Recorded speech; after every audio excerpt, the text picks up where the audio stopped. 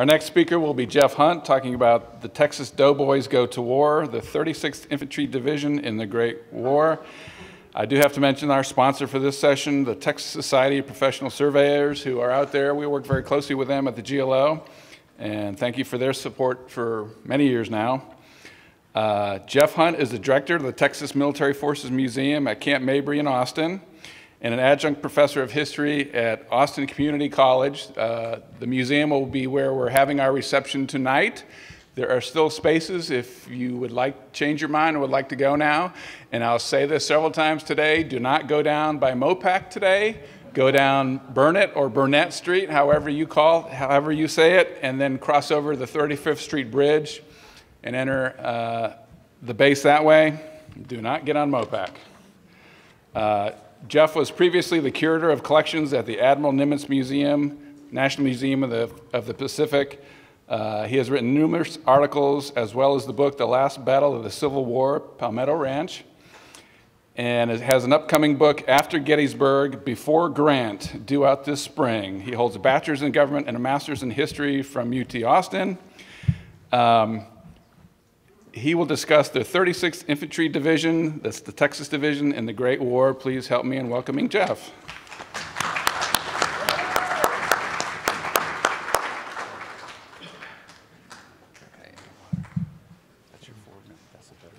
Okay, all right. Uh, hello, and I will try and stay on time because I know that I'm the last thing between you and lunch.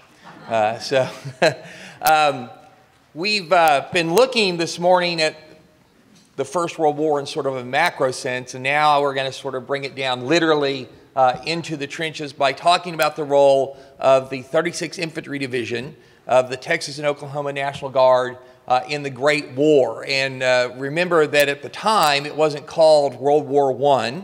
Uh, think about how depressing that would have been, because uh, it certainly implies, well, if there's a one, there must be a two, and maybe a three and a four, and so on. They called it the Great War, uh, not because it was a lovely little war, uh, but because it was the largest war that humanity had ever fought. And the United States tried for a very long time to stay out of that conflict, but uh, as we've seen, it was eventually uh, sucked into it.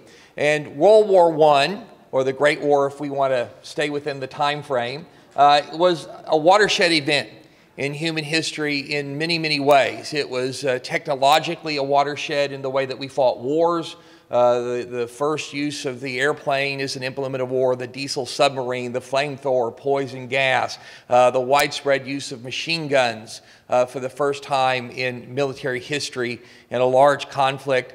Uh, it was also a watershed uh, in terms of overall human history because virtually everything that has happened in the world since 1914 draws a straight line back to that war and the peace that was made in the aftermath of that war. We still live in its shadow in a very real and meaningful way. And it was also a watershed in the way that the United States uh, military went to war. Uh, from the very earliest days of our country, and uh, before we had even declared our independence, uh, we relied uh, on the militia to a certain extent, but that's always been a misnomer because for prolonged conflict, the militia was unable to sustain military operation.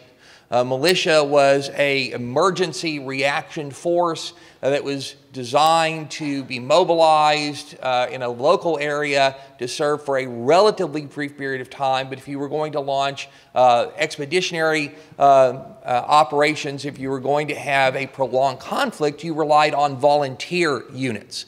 and so these were units that were specially called into being to fight the American Revolution, the War of 1812, the war with Mexico, and the war between the states.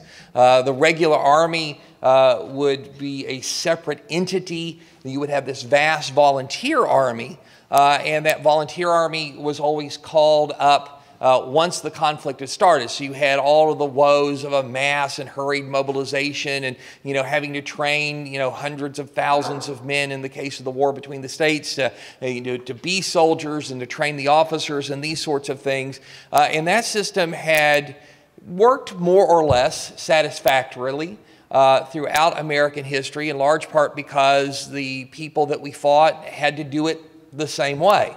Uh, in the aftermath of the war between the states, though, this begins to change. As technology changes, the, the speed of warfare changes, the way that you mobilize has to change. And it produced in the second half of the 19th century a huge argument in the United States because uh, the regular army wasn't getting much in the way of resources, and it didn't want any of its resources to be diverted into all of these state militias, which it believed from its professional vantage point correctly, uh, were all but worthless. What good is the militia uh, if you can't really use the militia when you go to war? You have to then, you know, get all these volunteers. Uh, and so the regular army wanted to get rid of the state forces, uh, believed that they were little better than strike breakers uh, and riot stoppers. Uh, at any rate, and, and not professional forces. And there was something to that that they weren't professional, and that something was kind of uh, the work of the regular Army and Congress itself uh, because they didn't fund the state militias. The states were on their own uh, for funding the militias, and by uh, the old uh, militia acts, uh, a state got resources from the federal government in proportion to its population. So some states like New York got more in the way of weapons and armament and stuff like that, and other states did not. Uh, you also have the complication that after 1865, no state that had seceded from the Union was allowed to have a militia until 1870. Uh, and uh, that meant that from 1865 to 1870, Texas had no uh, militia force whatsoever. That restriction was lifted in 1870, uh, and we created something called the Volunteer Guard. Uh, but the Volunteer Guard in Texas was like many such organizations in a lot of states. Uh, it received no state funding, it received no federal funding. The only federal resources were hand me down weapons and accoutrements left over from the Civil War. Uh, and that meant that the Volunteer Guard had to fund its own activities. So it had to uh, buy its own uniforms, it had to pay for its own training, it had to pay uh, to get to the, the two week summer encampment it was supposed to attend every year, had to pay the rent and the utilities on its own armories. And if the government's not giving you the money to do that, you have to do it. And so the, a lot of these volunteer guard units uh, spent most of their time fundraising. Uh, and so they held balls and parades and drill competitions and reenactment battles and these sorts of things that they could sell tickets to so that they could keep themselves in operation. Of course, that meant that you really didn't have much time uh, for serious military training. And so it you know, sort of is a, a little vicious cycle there. Uh, and when the Spanish American War rolled around, uh, it sort of proved that. The, the volunteer guard was not called up for the Spanish American War, uh, there was a call for volunteers. Uh, and a lot of volunteer guardsmen did volunteer, but entire companies of volunteer guard refused to mobilize for the Spanish American War. And so the Army pointed at that and said, see, these volunteer state organizations are useless. That argument didn't carry the day because these volunteer state organizations were politically very, very powerful. Uh, and they were hooked into a long tradition of militia volunteer service in the United States. And the argument of the advocates of maintaining the volunteers said that you know this is the way that we've always done it. Uh, the militias can be the ready reserve. Uh, literally, almost the Minuteman can, can, spring into being at the moment that we get into a big war. Uh, but if you want them to be really valuable, you've got to start spending money on them. You've got to start giving them resources, and you've got to stop treating them like redheaded stepchildren.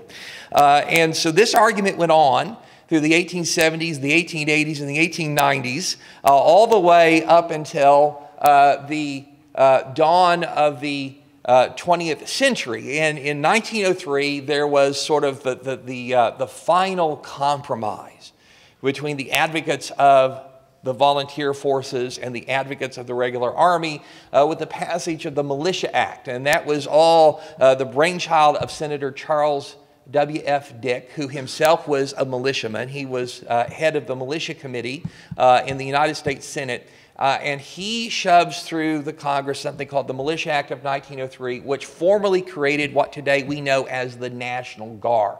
Uh, previous to this, every state kind of had its own name. Texas had a volunteer guard, and others had National Guards, and others had State Guard. Now they get one big name. They are the National Guard, and they will get some federal funding. Uh, and in exchange for that, they will have to live under U.S. Army regulations. No more doing this the way that your state wants to do it, and the good old boy club is supposed to go away. We're going to have officer training and joint exercises, and we're going to give the President of the United States the authority to mobilize the Guard for up to nine months at a time, with the proviso the Guard could not be sent beyond the continental confines of the United States uh, as the world moves deeper into the 20th century and you have all sorts of nasty things happening around the globe, uh, such as the Russo Japanese War and, and uh, instability everywhere, uh, this Militia Act is amended in 1908 uh, so that when the United States has a general mobilization, the Guard has to be mobilized first. So the regular Army's there, then you must call up the entire Guard and then you can ask for volunteers. That, that became the way uh, that it was going to be done, and the uh, restriction against the Guard being able to serve overseas was lifted, as was the nine month uh, limit on how long the Guard could be called into service. Now the president would decide how long that term of service would be. So this is a fundamental change in the military structure uh, of the United uh, States. Uh, and it got its first test due to our entanglement with Mexico, which my previous uh, colleagues up here have already talked about. But when the United States gets sucked into that problem, uh, Texas is one of the um, uh, National Guard forces that is initially mobilized. And uh, a lot of what the regular Army had predicted it would find when it dealt with these National Guard units uh, turned out to be true. Uh, there were a lot of men on the rolls who were older and in poor health and not really, you know, physically capable of mobilization. Uh, there was a shortage of almost everything, uh, uh and this was uh, this was something that the papers up north mocked because Texas had well, since Texas came into existence, said Mexico is our problem and we can deal with Mexico. And in fact, in 1916, as this whole business with Pancho Villa really got going, uh, someone uh, sent a letter to the Adjutant General of Texas and, and asked, uh, was, was Texas ready for this? And the Adjutant General sent back a telegram. It was very short and it said, Texas can whip Mexico by itself. Rest of country not needed. Uh, and, and that turned out to be very untrue. The Texas Guard really was not ready, and it was given uh, virtually no time to mobilize. Uh, it did, by the end of the troubles on the border, uh, put a brigade uh, in the field, almost 4,000 men. Uh, and they did credible service in very difficult circumstances. Some of the other Guard units from uh, other states uh, who had more time to prepare and gear themselves up, you know, came into Texas and they did a lot better. Uh, by and large, though the mobilization for border duty was a haphazard and confusing business that tended to highlight the, the problems in the Guard more than the benefits of the Guard. But that was not in and of itself a bad thing uh, because it meant that before we have the mobilization to go into the Great War, uh, we've exposed some of these problems and, and we've learned some lessons. In other words, this was a very useful, if unsatisfying, uh, uh, preseason game.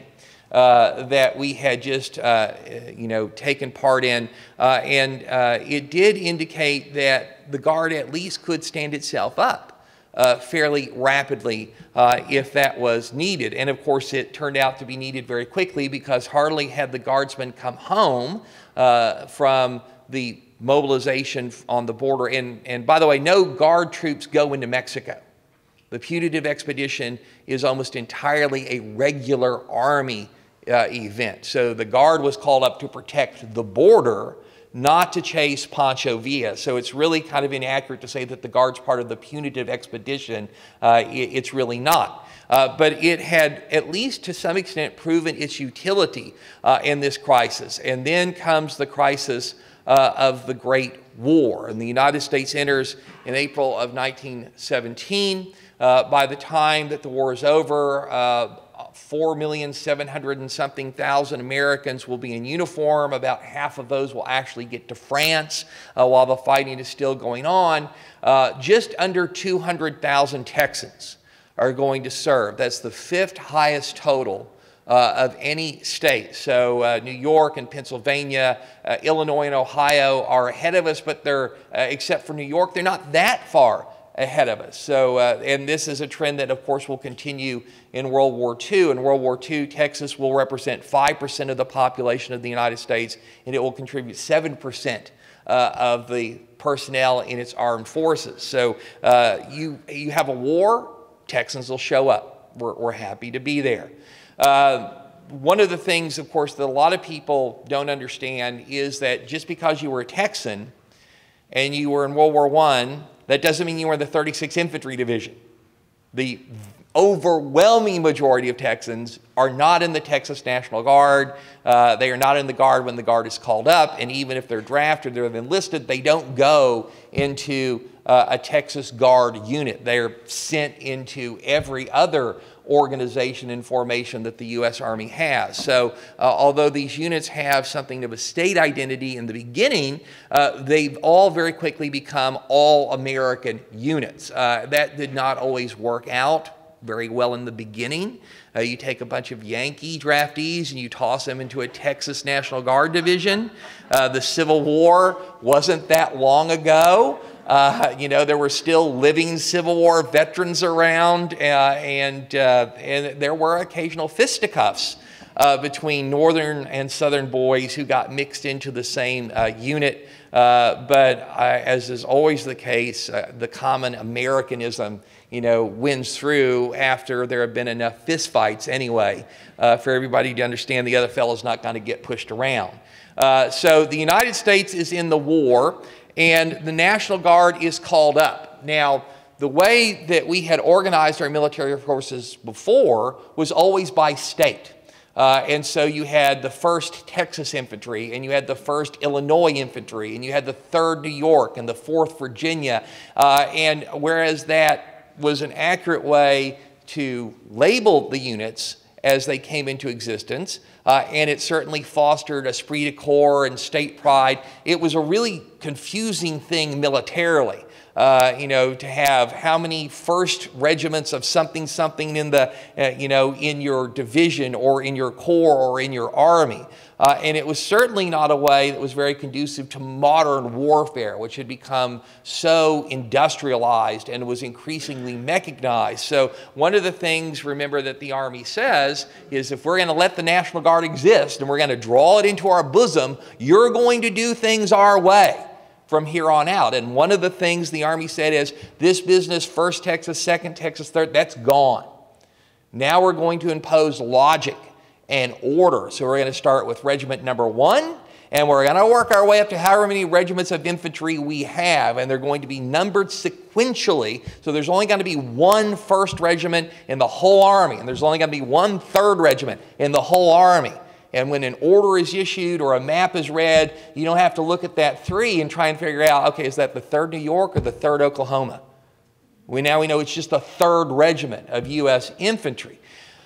The regimental structure was going to be consumed, of course, in brigade and division structures. And in military parlance, a division uh, in World War I and World War II is, in essence, a mini army. It has its own supply services, communication services, uh, medical services. It is, in essence, a self contained all arms unit with all the support elements necessary to keep those combat forces in operation for a sustained period of time that can be sent anywhere and can fight, in essence, on its own uh, for a extended period of time. And in World War I, you had what was called the square division, uh, which meant uh, that you would have four infantry regiments in that uh, division. Uh, and as the Army stood up the National Guard, it combined the Texas and Oklahoma National Guard together uh, into a single division, which got the number 36. Uh, it was officially mobilized in July uh, of 1917. That's when the order went out. That's when the guard units were told, you know, mobilize, go to your armories, that kind of stuff. Uh, but it wouldn't be until August 5th of 1917 uh, that enough troops were on hand to, you know, stand out on the parade ground and read the order. Here we are, uh, the 36th Infantry Division uh, officially uh, exist. Uh, the organization, and this is, this is not all of it, these, these are just the big pieces of it. So you had two infantry brigades of two infantry regiments each uh, with an attached machine gun battalion uh, the 141st, the 142nd Infantry uh, in the 71st Brigade, the 143rd and the 144th in the 72nd Brigade. Then you would have an artillery brigade, uh, which would have three regiments of field artillery uh, and a trench mortar battalion. Uh, then you would have engineers, ammunition trains, sanitary train, medical detachments, these sorts of things. Uh, what you see here shows you what the old state organizations were that fed into and became these modern uh, organizations, which we still have uh, most of them today. So the 1st, 2nd, and 7th Texas Infantry and the 1st Oklahoma Infantry convert to become the 141st and the 142nd and the 132nd. It's not clean. Uh, if you try and uh, follow the family tree here, uh, you get a fifth of bourbon uh, because you'll need it. Uh, I like to say that you know regular army lineage is you know sort of traditional family tree with marriages and births and stuff. A National Guard uh, army lineage is uh, a family tree, nothing but incest and uh, divorce. It just kind of a, you can't make any sense of it uh, at all. Uh, so a World War I division at full strength was a massive thing. 27,000 men uh, 6,600 horses and mules. And, and although trucks and motorcycles and all, and all this kind of stuff are showing up, this is still largely a horse based war. Uh, the motor vehicles were very primitive and they were better than horses and mules for speed, but not necessarily always for durability. Uh, they tended to break down. Uh, and it was also a very heavily armed uh, outfit. So 224 machine guns, 74 artillery pieces, 17,000 plus rifles, uh, 1,900 trench knives. Uh, it, it, and, and this is just the big stuff. Now imagine uniforms, hats, shoes, long underwear, belt buckles, shaving kits, you know, cots, blankets, uh, packs, helmets, and these sorts of things. So it is a massive logistical undertaking. Uh, and these big divisions uh, had advantages and disadvantages. And one of the disadvantages of them was that they were very cumbersome things to move around a battlefield. They took up a lot of road to get from place to place. Uh, they, they, took a lot, a lot of area uh, to assemble and to bivouac. And of course, it took a massive logistical effort to keep them supplied with food, medicine, ammunition, and all the other necessities. Uh, so they were sort of clumsy. But the big advantage they had was that they were very powerful. Uh, as earlier speakers have noted, uh, you know, you needed less officers, less trained officers to run something this big. Uh, that only works when you're talking about high-ranking officers, because a regiment's a regiment. It needs a certain number of officers and lieutenants and captains. It, it doesn't matter, you know, how many men are in a division. You just need fewer brigadier and major generals if you have fewer divisions because they're very, very large. The big advantage to this division is that it can sustain enormous casualties and keep fighting. And, and this was a deliberate decision on the part of the United States Army. A French division uh, was about 14,000 men, a British division, something similar in size. Now, that's, of course, at full strength, and by 1918, very few divisions on either side are at full strength. Uh, and it turns out the American divisions, when they go in, won't be at full strength either. Uh, but the concept was we're making a steamroller, and it's going to be able to use just pure brute force attrition. To, to not so when you shoot up half this division there's still half left you would have wiped out another division in another army and we've essentially got a second division ready to roll right in. That the theory, the theory never quite works on the battlefield the way it's supposed to, uh, but that was the idea. Uh, the first commander of the division was Major General Edwin St. John Greble. Uh, he was a competent guy. Uh, he had been born uh, before the war between the states began, uh, but he had a long and distinguished career. But of course, there was no officer in the entire United States military who had ever been in a war like this. Even our own war between the states was, uh, in terms of technology and scale and bloodshed, uh, a pale shadow to what's been going on in Europe uh, since 1914. But General Greble is going to turn out to be an excellent teacher. He does a very good job training the division, and the division was trained according to the dictates of General Pershing, who became the commander of the American Expeditionary Force. Um, and so the British and the French, as pointed out earlier, simply wanted our manpower. And we didn't want to do it that way. Uh, when, when we get into the war, we first believe that, you know, we're, we're going to send a token land force over there. Uh, our major contribution will be naval because it's really the U boats that have made us so mad that we've got to fight this thing. Uh, and after all, the British and the French pretty much have it won because that's what their propaganda had been saying. And then when we get in and they send their liaison officers over here, we find out, oh no, you're not about to win, you're about to lose. And lose very badly. And the British and the French were very honest. This like what we need is men. We need your men. And we wanted to send over an American army for political and patriotic and, and, and very good military reasons. Uh, but it would take time not to mobilize the manpower. That's fairly straightforward but to equip these divisions with American trucks and American artillery pieces and American machine guns and, uh, you know, the, the, the whole logistical thing was going to have to be built from the ground up. And what the British and the French said was basically this if you'll bring the troops over, we'll supply all that stuff. We'll, we'll, we'll use our ships to bring you over. We'll supply the trucks and the artillery pieces and all that kind of stuff. Just get your men over there. And so that was the deal that was made. Uh, and it fit the emergency. It allowed the American troops to get there in the nick of time in the summer of 1918 to save Paris and save the war uh, for the Allies. But the American Army is going to suffer for that for another, you know, six, seven months uh, because when you're borrowing somebody else's stuff and you're relying on their logistical uh, support and that kind of stuff, in, there's a language barrier. It just doesn't work smoothly.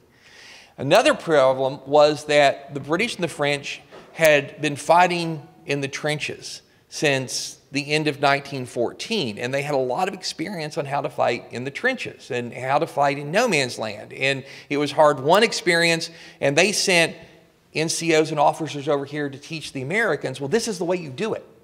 And the Americans looked at that and they said, and this is why you've taken millions of casualties and gained five miles over the last three years. And so we don't really think that that is the way you do it. And Pershing was horrified by trench warfare. And to be honest, most military men everywhere were. Nobody expected trench warfare in World War I. Uh, it happened because there had been an industrial revolution that enabled you to put millions of men in uniform and keep them there and give them barbed wire and machine guns and poison gas and artillery uh, so that you can have a 500 mile unbroken trench line from the North Sea to the Swiss border. Nobody had prepared for that. And no matter what they tried, technology or strategy, it didn't break the trench stalemate. Uh, but from an American perspective, what the Europeans had been doing was crazy. And they had backed themselves up into a defensive mentality that was never going to achieve a breakthrough. So Pershing said, We're not going to train for that because that's not the way we're going to fight. We are going to train for offensive warfare. We're going to train to get beyond the trenches, to maneuver in the open field and defeat the enemy in that way. And so, whereas the Europeans would say, oh, you got to rely on grenades and mortars and all these sorts of things, uh, Pershing said, you know what's the most lethal weapon on the battlefield? An American marksman with his 1903 rifle and everything's going to get built around him. So the emphasis was not on trench warfare, but on open warfare. The 36 trained for a year at Camp Bowie outside of Fort Worth before it went overseas. Uh, there uh, is sometimes confusion because there's a Camp Bowie in World War II.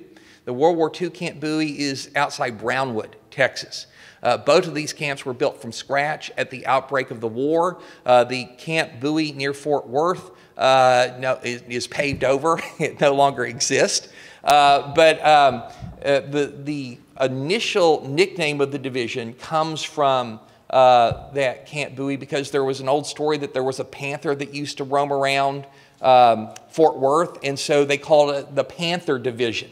Uh, it's not going to be the Panther Division by the time the war's over, but the, it's the Panther Division as they go overseas. Uh, the, it takes a month basically to get the division overseas. Uh, and when it goes overseas, it gets a new commander because General Greble was too old. He couldn't pass the physical. So Major General William R. Smith uh, got the job. He wasn't an infantry officer, he's a coast artillery officer and an expert on torpedoes.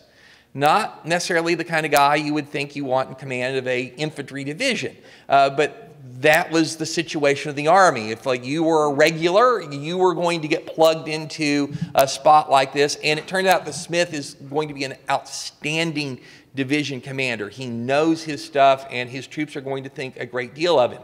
Uh, once they get to France, they're sent uh, to a training area behind the lines, about 80 miles away from Paris. Uh, and uh, the artillery brigade is sent to a different training area. Of course, artillery was a very complicated, uh, is a complicated thing. Uh, and uh, so the artillery brigade gets detached from the division, and the war is going to be over before it comes back. So the artillery brigade is going to see no combat whatsoever.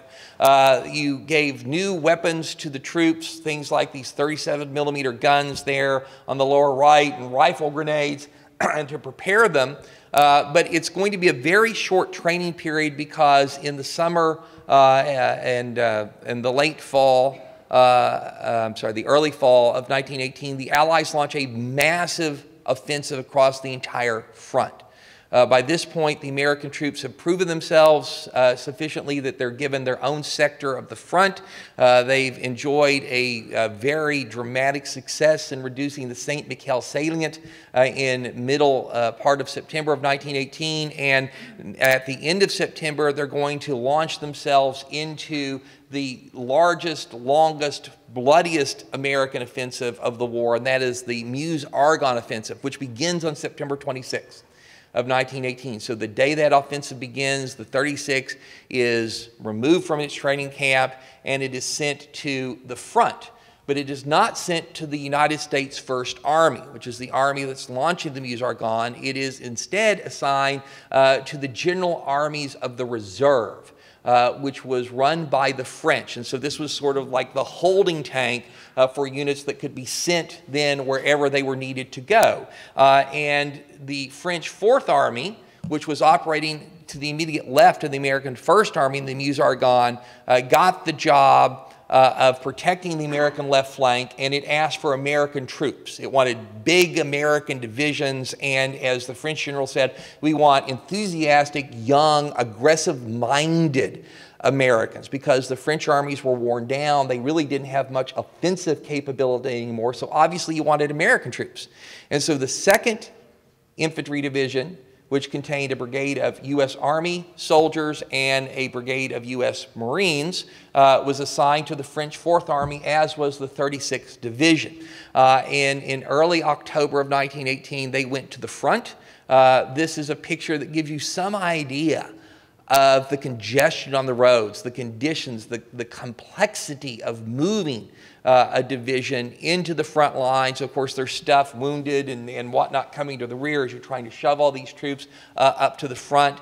Uh, and the one thing uh, that uh, veterans of the war observed is that green troops marching toward the front sang when they were going in. Nobody sang when they were coming out, and the second time you went in, you didn't sing then either because you knew what you were going into. And of course, the troops understood that they were about to go into battle, uh, but they were about to go into battle in very, very bad conditions. The um, French uh, had spent years trying to take uh, something called Mont Blanc, which is a huge ridge overlooking the Champagne region of France, and every French offensive had failed. If the French were going to stay apace with the American First Army as it dove into the Meuse Argonne, that ridge was going to have to be taken.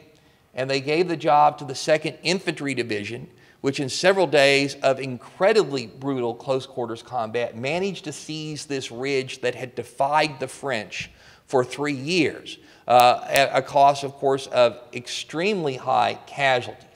Uh, and the 36 was brought in to relieve the uh, the, to relieve the Second Division, and to carry the attack past the ridge uh, into the town uh, of Saint Etienne. Uh, and this was uh, a situation where the 36 was coming into action. It was a green division, never been under fire. The way that General Pershing did it in the American Army is he brought a division into the line in a pseudo quiet sector uh, for a couple of days, maybe a couple of weeks. You got it blooded, you got them in used to being shot at and shooting at people before you asked them to really do anything uh, that was going to be complicated. Uh, the 36 does not get that luxury. We're working under the French. Uh, and so uh, the French basically take the American this Green American Division and they throw it into uh, the fighting, uh, not as one mass, uh, but as a uh, brigade at a time. And so the 72nd Brigade, I'm sorry, the 71st Brigade has to go in and relieve the, the Marines of the 2nd Division uh, on Mont Blanc. Uh, and then they have to move that same night into attack positions against St. Etienne. Uh, the guides that are given to them to lead them to the front get lost. They don't know where they're going. Uh, and so the division spends the whole night moving around under machine gun and artillery fire. Uh, and uh, by the time they get themselves into position, uh, it's about 4.30 in the morning uh, of October 8th. And then the orders finally get to their commanders that at 5.15 you are jumping off into the teeth of the German defenses there will be an artillery barrage that will advance in front of you, and you've got 30 minutes to get the order to your troops and send them forward. No time for reconnaissance, no time for coordination, no time to establish liaison. Uh, a lot of units don't get the order that they are about to attack until five minutes before they're supposed to jump off and you can't delay it because the artillery barrage is going to go forward and you're supposed to advance 100 yards behind that artillery barrage which is supposed to keep the enemy's head down so that you don't get slaughtered. Well as you can imagine that coordination broke down very very quickly. Uh, the germans knew this was coming. They were in fact withdrawing uh, having lost the ridge, they were backing up to the Aisne River, uh, but they were fighting a uh, very determined rear guard action. Their artillery was in place. It dumped a deluge onto the American uh, troops of the 36 as they came out. Very quickly, there was a slaughter. Uh, officers, NCOs went down, coordination uh, between units broke apart, units themselves were shattered.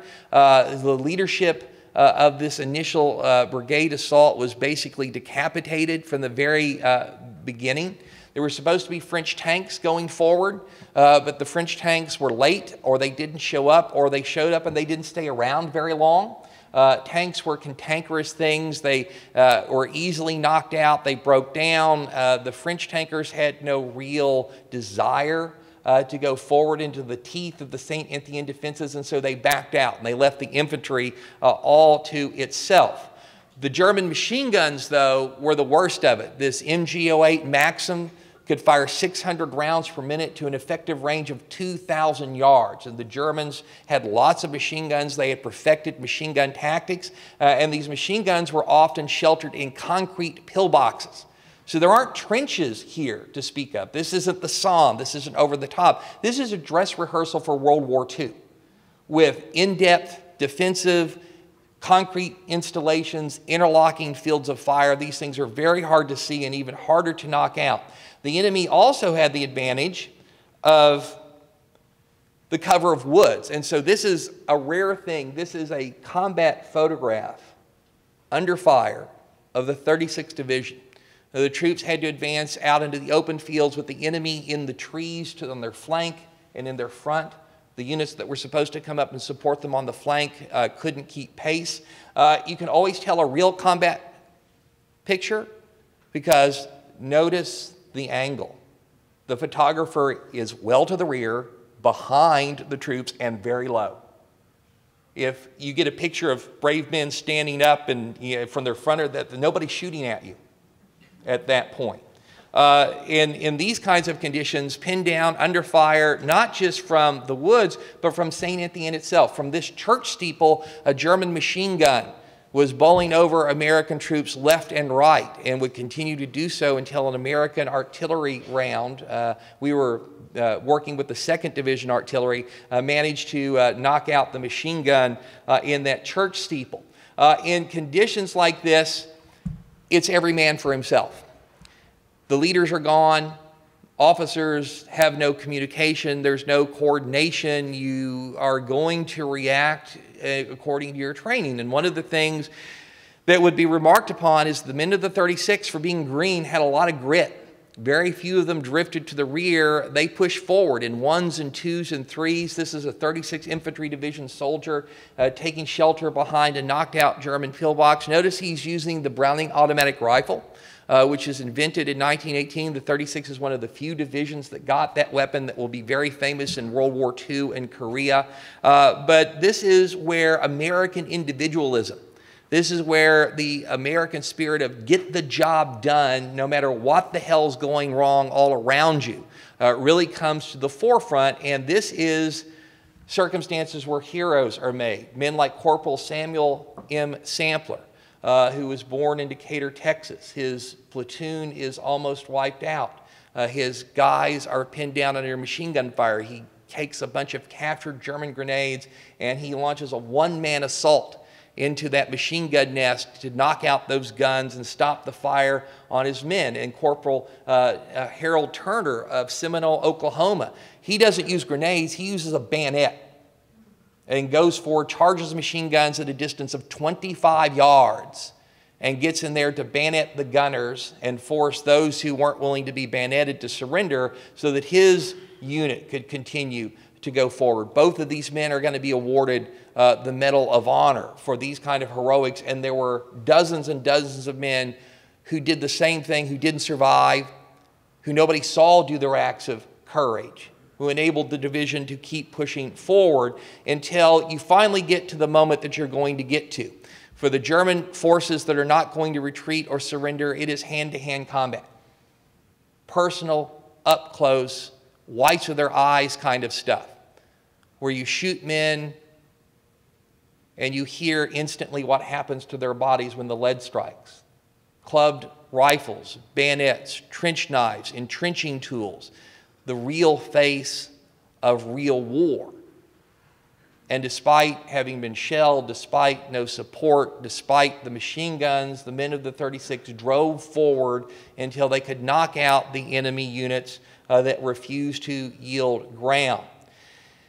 And it was a bloody experience. In those first two days of the battle, the 71st Brigade suffered 1,600 casualties, 1,300 of them on the first day but it was a big division, and those were big regiments. They could absorb the losses and keep going. This was a big shock uh, to the Germans. Uh, because they had never encountered American troops before. They didn't understand men who would keep coming regardless of casualties until they could close in and kill their enemy in hand to hand combat. After the capture of St. Etienne, the 36th Division is going to spend another 21 days in combat, and its learning curve is going to go up like a rocket. So it comes in completely green, it does a bunch of stuff wrong. Everything that can go wrong happens to it at St. Etienne. As it pursues the Germans toward the Indre River, that changes the division now operating, you know, with, you know, maps and knowledge and able to make its plans does an outstanding job and it also innovates. And one of the things that it innovates is the code talkers. Uh, the Germans were very good about tapping into uh, our field phone communication, and that meant that you had to code messages before you sent them, and they had to be decoded on the other end of the line, and that was time consuming, and there was all sorts of possibility for error. And an unheralded officer in the 36 said, You know, we have a lot of Indians in the outfit. Let's get them and make them our communications people. And so they gathered up some Choctaw Indians who spoke in their own tongue to another Choctaw Indian on the other end of the line who spoke in his own tongue, and they could send the messages without coding them because the language was the code. And even when the Germans tapped in, they were like, What? They didn't even know the Choctaw language existed, let alone uh, be able to decipher it. Uh, the, the Marines get all the credit for the Navajo code talkers in World War II. The Marines are Johnny come latelys in this regard. The Texas National Guard's the one that figured this out. Uh, and if the war had gone on longer, the use of code talkers would have turned out to be much, much more important. This is a map that shows you the route of the division. Uh, so this pink part down here, that's the uh, fight uh, from Mont Blanc and Saint Etienne, and then the green part is the advance of the division to the Aisne River in pursuit of the Germans. And then you've got this one little green speck over here. That's where the 72nd Brigade is sent on October 26 to wipe out a German bridgehead uh, on the south side of the river. And this uh, for a division that had only been in action for 20 days uh, is an example of how quickly the Texans and Oklahomans learned because it is a textbook operation. Uh, maximum security and secrecy, surprise. Uh, the Germans had no idea it was coming. Uh, all the troops were briefed. Every man knew what he was supposed to do. They even went so far as when they were briefing the officers to say, okay, when this lieutenant gets killed, this is the lieutenant that takes over for him. Encouraging way to go into a fight, right? Uh, but that's the kind of planning you have to do. And they overran this German position and took virtually no casualties doing it and wiped out that bridgehead. So, in just 24 days of action, you went from sad sack, everything that can go wrong can go wrong, to a textbook style operation. The French were very impressed, as the French should be when they're dealing with Texans and Oklahomans. And the commander of the French Corps, under which the 36 operated, said these very nice words about the division, recognized that they went into, uh, into combat for the first time under extraordinarily difficult circumstances, and despite that, they did the job that they were asked to do. 24 days in combat, 30 Distinguished Service Crosses, two Medals of Honor, and 128 French Croix de Guerre, or Crosses of War. That's General Pershing decorating a soldier in the 36th Division. But it comes at a cost. In 24 days of combat, 800 dead, 74 mortally wounded, 674 wounded, and at least 177 gassed. It's a weird thing, but in World War I, gas was not considered wounded. You didn't get a Purple Heart if you were gassed. Uh, a lot of men were gassed, but not badly enough to send them to the hospitals. And so the, the number of gassed here would be far, far uh, larger than what's represented there. And that picture, of course, is the Meuse Argonne National Cemetery, where a lot of those 800 men of the 36 still reside in the soil of France. By the time the war was over, 2,600 men and the 36th Division would have been killed, wounded, died of disease or in accidents, and that sort of thing. Uh, total Texas deaths in the war, uh, almost 6,000, of whom 4,300 died overseas. Uh, compared to the losses suffered by other divisions, suffered by other armies in the war, these are relatively light, and it tells you something about the scale of World War I. Uh, that to say, oh, well, 6,000 dead, that's that's nothing. That, that hardly counts uh, in, the, in the big picture of the war. Uh, but the division had done what it was asked to do. It helped occupy Germany uh, and came home in 1919 to a wonderful homecoming parade. Uh, one last little detail uh, by the end of the war, it wasn't uh, the Panther Division, it was now the Arrowhead Division. during the Civil War, the Union Army had employed cap badges uh, to identify corps and division. And for some reason, that went away after the Civil War. Uh, and as we really got into World War I, the idea came back well, you know, we should revive that and give each division its own distinctive insignia and its own distinctive patch. Uh, only one division gets that done before the fighting is over, and that's the 1st Infantry Division. And so it wears a shoulder patch for like the last couple of weeks of the war. No other division during the war wears a shoulder patch. Uh, the 36th Infantry Division shoulder patch, which you see here, one of the original versions of it, uh, was approved by the War Department on November 11th, 1918. So the day the war ended. So if you see a uniform that's got a shoulder patch on it from World War I, that was put on after the war. Wasn't worn in combat with that uh, shoulder patch. And the symbolism, the blue arrowhead for Oklahoma, which had been the Indian Territory before statehood, with the T for Texas superimposed on top of it. Of course, the T imposed on the arrowhead, uh, as it should be. Uh, and, uh, and so the 36th Division uh, you know, uh, did not see a lot of combat. It had really one big battle and one small battle. But in that period of time, it proved the value of the National Guard. It certainly proved the valor and the perseverance, the grit of the young men from Texas and Oklahoma and the other states in the Union who carried the rifles and manned the machine guns of that division. Uh, and that, uh, that story of heroism and valor, of course, would uh, be part of the esprit de corps of the 36th Division uh, when it goes into World War II. Uh, that war, of course, is the one that everybody really remembers. Uh, it overshadows this war. Uh, and for the 36, 444 days on the front line in combat in World War II versus 24 in World War I. Uh, but the men who fought those 24 days uh, are heroes in every sense of the word, just like the men who fought those 444 days in the war that comes after the war to end all wars. Thank you.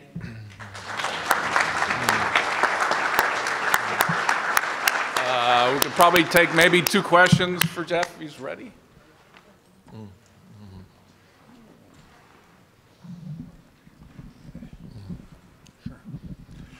Jeff, that last photo you showed of the parade, was that Austin or elsewhere? Fort Worth.